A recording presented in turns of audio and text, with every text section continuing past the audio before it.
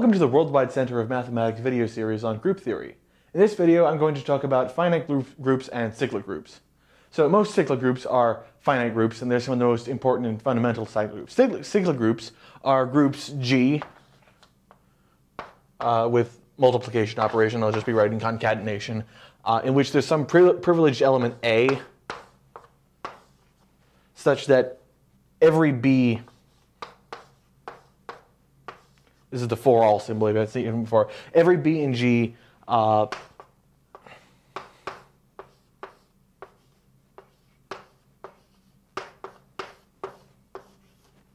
is uh, can be reached by repeatedly multiplying A or the inverse of A uh, with itself some finite number n of times. Um, uh, in cases where it's a finite group, it turns out that uh, A inverse will, will have to be some uh, positive power of A. And so if it's finite, uh, you just have um, it being a power of A. Now, this is equivalent to the condition that there is a surjective homomorphism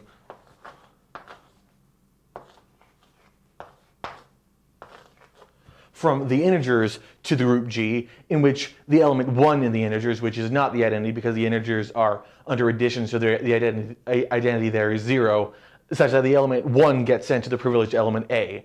Um, the, the, the associativity and uh, commutativity of these powers uh, is the same sort of structure as the addition that the integers have, um, where uh, if this group is finite, it's the same structure but, but, collapsed in a natural way, which is equivalent to uh, the taking of quotient groups. Uh, so an, infin an, an, infinite cycled group will always look like G, and this homomorphism phi will, al will always have the trivial kernel, where the kernel is only 0 in G.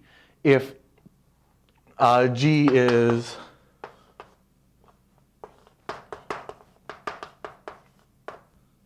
if G is finite, then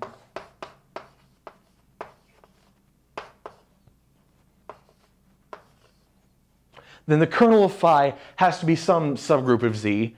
Um, since z is abelian, all of its subgroups are normal and are thus uh, eligible to be kernels of homomorphisms. But the only subgroups of z are, um, uh, are, are, the sets of integers which are all multiples of some integer. So this, this is written nz, where n is the integer that everything in there is a multiple of. So you would have, say, 3z. And thus, um, every cyclic group is going to look like um, is going to look like the quotient of uh, z by some nz. Uh, from the first isomorphism theorem, we have this.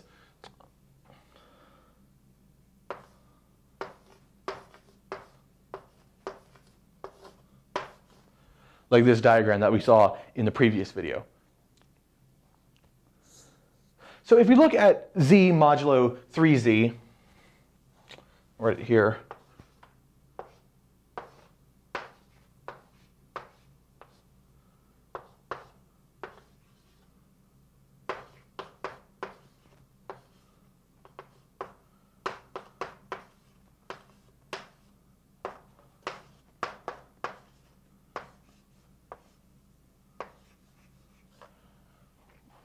So, uh, so 3z is going to be the set of all integers divisible by 3.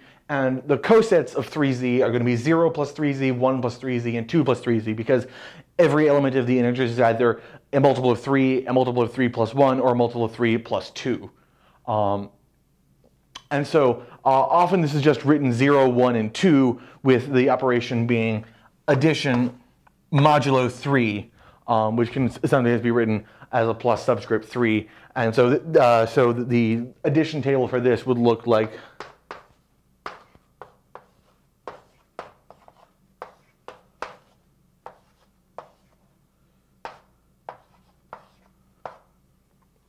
would look like this, where um, everything is as normal except that 1 plus 2 is 0 instead of 3, and 2 plus 2 is uh, 1 instead of 4 equals 3 plus 1. Of course, um, even though all cyclic groups have to be have to be isomorphic to uh, something that looks like uh, a z mod nz, say z mod 3z, they don't have to look like that on the surface.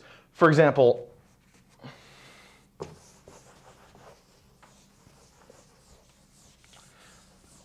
the uh, subgroup of the rationals or reals under multiplication.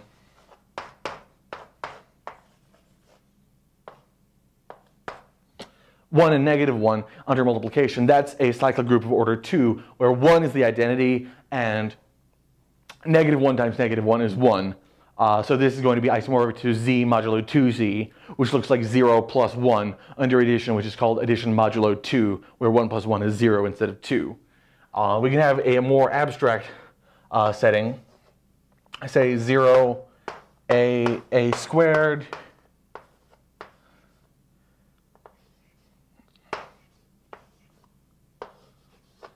a cubed uh, under um, a multiplication where everything is natural except that a to the fourth is identified with zero, uh, which would actually be e, uh, or one for a multiplicative group, sorry. Um, so a to the 4 is equal to e, and then a, a squared times a to the 3. It would be a to the fifth, but instead, since a to the 4 equals e, it's just, it's just a again. Uh, and so this is going to be uh, isomorphic to z mod 4z, which is uh, the z mod the subgroup of all elements which are divisible by 4. So it's important that uh, all cyclic groups are going to be abelian uh, in that um, because uh, group operations are associative, if we have a to the uh, n times a to the k, um, if we say that k is bigger than n, then we have a to the n, a to the k,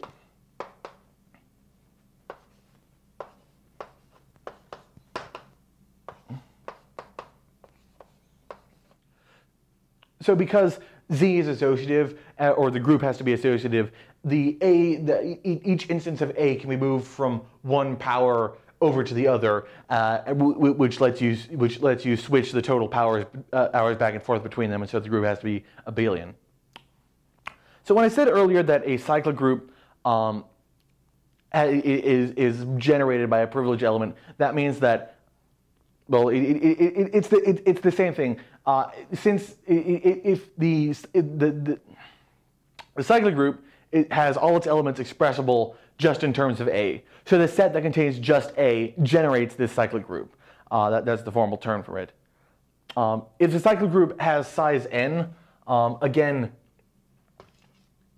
A to the n has to equal the identity of the group uh, for a finite cyclic group of size n, uh, because otherwise um, if a to a smaller and if a to a smaller power had to equal the equal the identity, then um, a to the everything above that would be already accounted for, and thus the group could grow no larger. Whereas if a to the n didn't equal the identity, then um, you could you, you you could put more powers in beyond a to the n. Um, so uh, what we say here is that the element a has order n. And this is, it, it's uh, calling this the order of the element A is valid even for groups which aren't cyclic groups. Uh, for example, um, uh, it, like it, it, in in just in, in just any group G.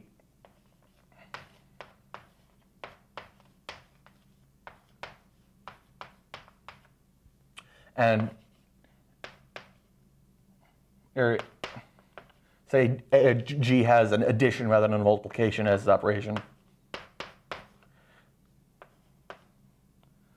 A has order 3 in this case. Uh, so additionally, the generation of groups by uh, the generation of cyclic groups by a, cycl by a single element can be extended even to not cyclic groups.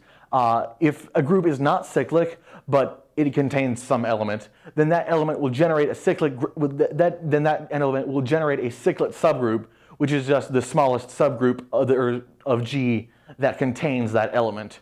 Um, and every element in that subgroup, which is, it will be expressible as a power of the, of the element, of the distinguished element for that subgroup, um, which will just look like the, the, um, the general representation I've been using for cyclic subgroups thus far. In a not cyclic group, the order of any element has to divide the order of the whole group. Um, and in fact, the order of any subgroup has to divide the order of the whole group because uh, all the cosets of a subgroup have to be the same size. And the subgroup generated by an element uh, is going to be of the same order as the element is itself. Because uh, if, if, A is of order uh, 3, then you get uh, 0, A, A plus A. Uh, but then A plus A plus A is 0 again. And so you, you only manage to get three, just, three unique elements just with A.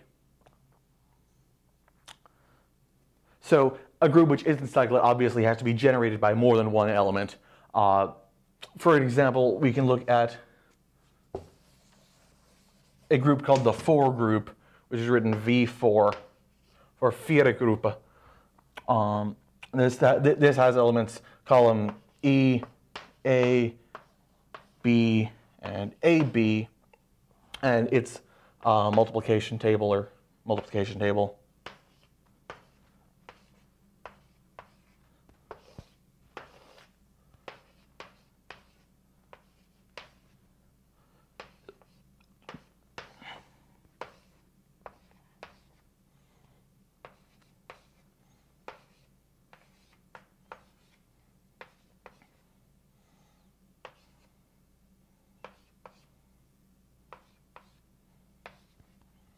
um, has the property that uh, each element is of order 2, but the whole group is of order 4.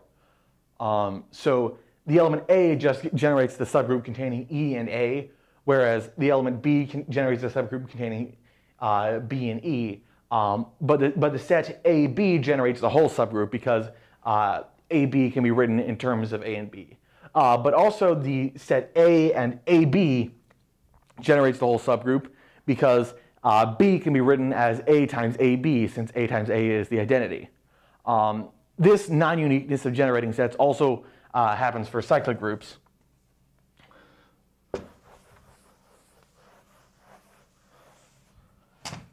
If we have um, Z mod 6Z, which we'll write as uh, 0, 1, 2, 3, 4, 5, then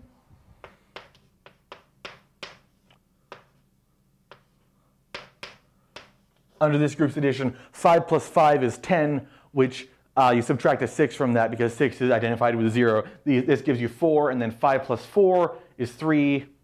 This is a 3.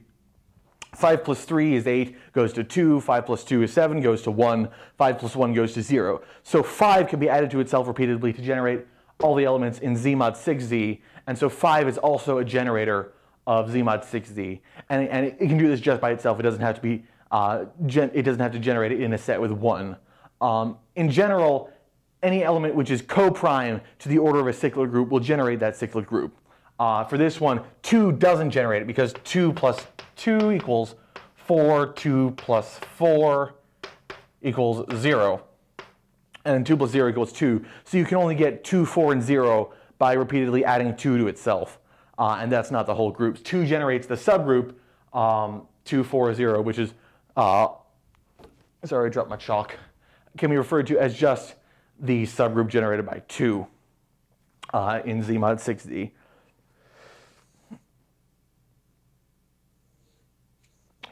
Uh, so in, in particular, any group which is uh, any cyclic group of prime power order. So this is going to be Z mod